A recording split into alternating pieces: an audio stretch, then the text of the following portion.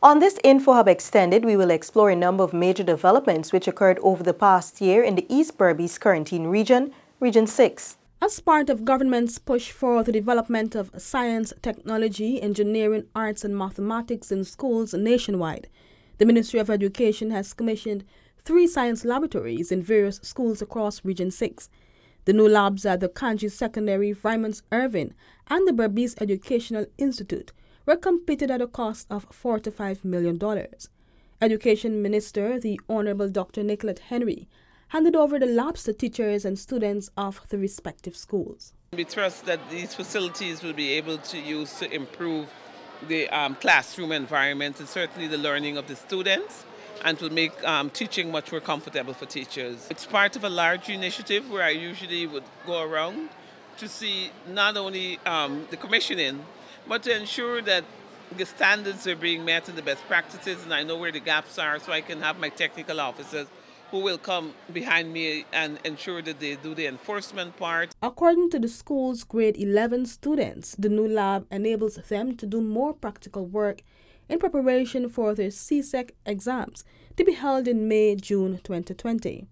The labs are expected to provide an improved quality of education and foster educational development, critical thinking, and hands on learning. Region 6 residents became beneficiaries of a 5.5 megawatt power station, which was established at Canefield, East Berbice Corentyne in March. Minister of Public Infrastructure, the Honorable David Patterson, emphasized the importance of this and many more upgrades as GPL continues to increase its capacity. This plant is the first of three plants that will be commissioned this year, with what I said this this half of the year. Um, in a week's time, we will be commissioning a plant in Anna, Regina, and Essequibo. And then shortly after that, we'll be commissioning a plant in Bartica, which is in keeping with our commitment. Minister Patterson indicated that the ministry remains firm in His Excellency President David Granger's vision to transform Guyana into a green state. The ministry in conjunction with GPL, have already embarked on several renewable energy projects. The CEO mentioned them. Um, I just would like to highlight a couple. We will be installing 30 megawatts of solar with storage uh, in the, into the Demerara interconnected grid. We also will be installing 10 megawatts of wind into the grid.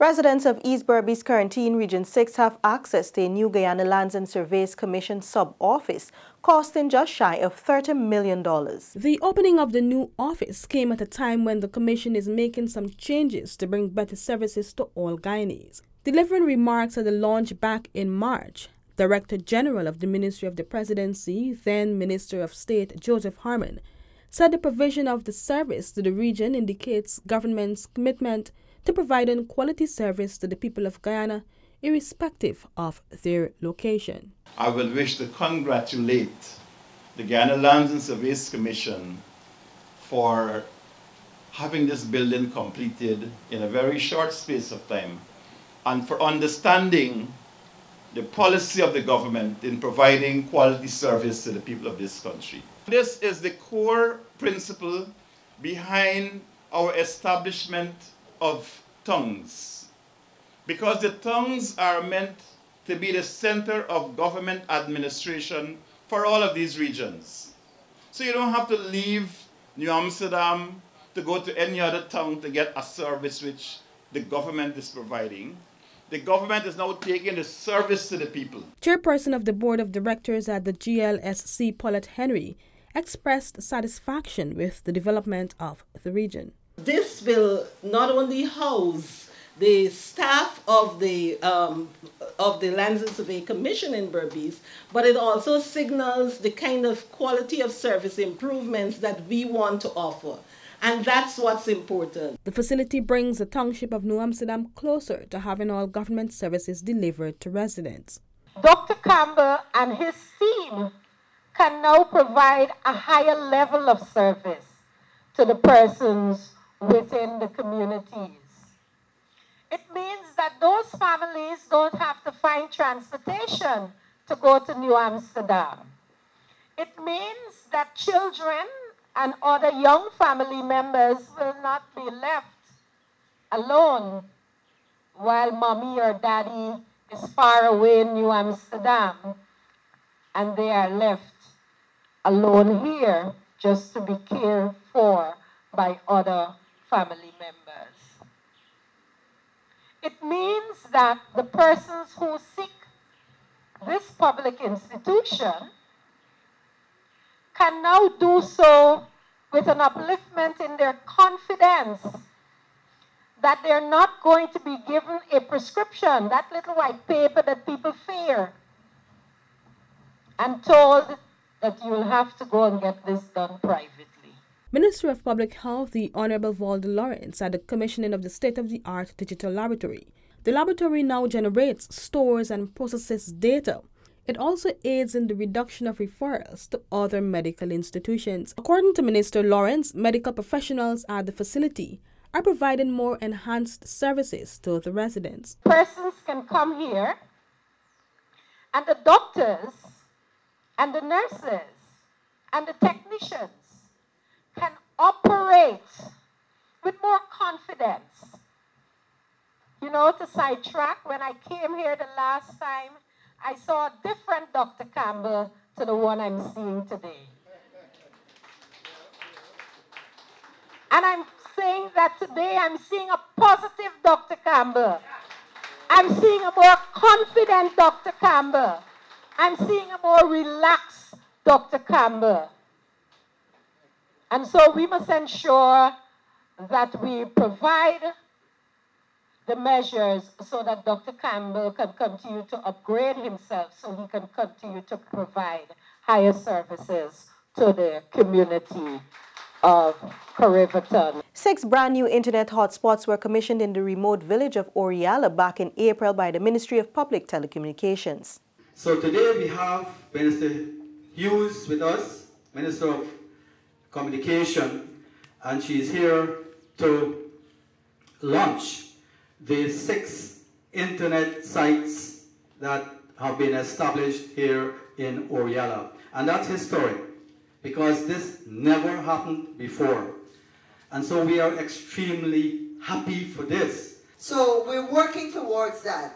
Uh, there's a lot to be done. Unfortunately, these are things that I think as a country we should have been looking at years ago, but we ain't looking back. We're putting things in place now, and slowly but surely we'll be able to get more panels into the community. So we are thinking about that. With the village coming online, there is much to be gained in multiple sectors, including security, health, and education. History was created on May 5 when His Excellency David Granger commissioned the Indian Arrival Monument in Palmyra, East Berbice, Corentyne. This Indian immigration monument symbolizes the ties of blood and history between Guyana and India.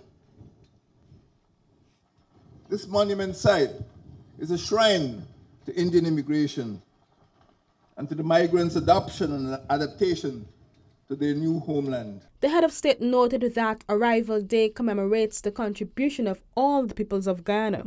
He told the gathering that the nation's foundation was built on their sacrifices and successes. Arrival Day recognizes the nation's diversity. It signifies the creation of a conglomeration of cultures. The nation is multicultural and always will be and each culture enriches national integration despite the differences in our people's origins.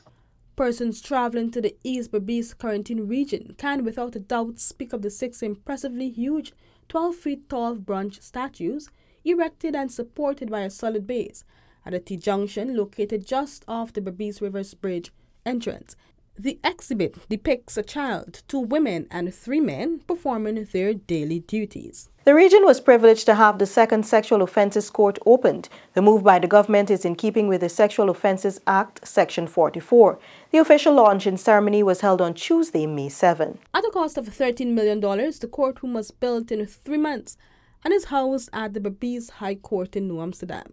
During the launch, Chancellor of the Judiciary Justice Yonette Cummings Edwards said the United Nations Children's Fund has collaborated with the Justice Department and significantly contributed to the financial support and capacity building.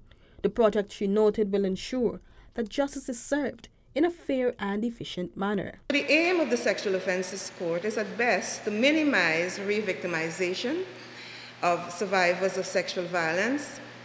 The Sexual Offences Court seeks to minimize this by providing the facilities that would support victims as they give their evidence. Britain's Deputy High Commissioner Ray Davidson said the system replicates much of what is being used in the United Kingdom. It will allow survivors to be able to give their side of events in a more conducive environment. It might also encourage others who have suffered abuse to come forward and feel comfortable in knowing that they will be treated with respect and dignity. After over 70 years of waiting, the residents of Plantation Mount Sinai, Angoy's Avenue in July became legal owners of their house lots. Scores of residents made their way to the Berbice Educational Institute on July 31 as they patiently awaited the delivery of their land titles.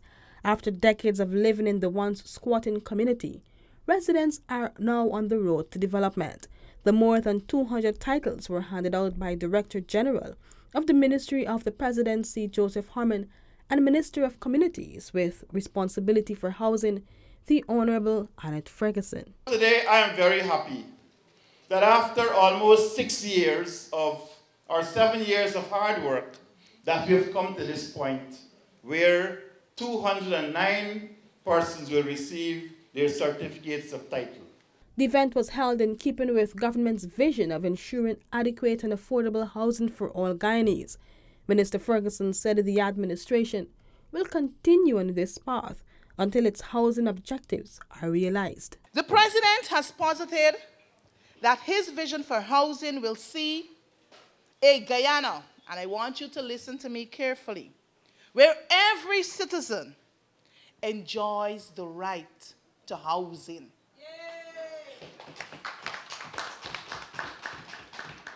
And Excellency is merely enforcing what our Constitution, Article 26 of our, of our Constitution, speaks to the issue of adequate housing. Our people must be afforded or with, um, with adequate housing accommodation.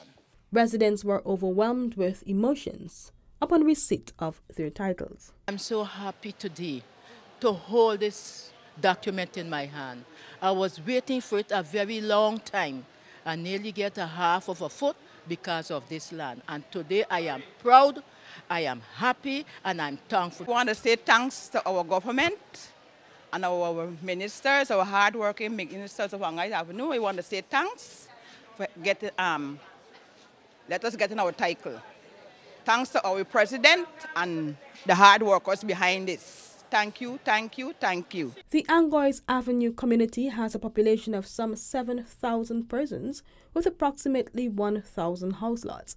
The land title distribution was just the beginning of greater things to come. Other families are expected to be granted their land titles in the near future. This has been InfoHub Extended. Thanks for watching. Goodbye.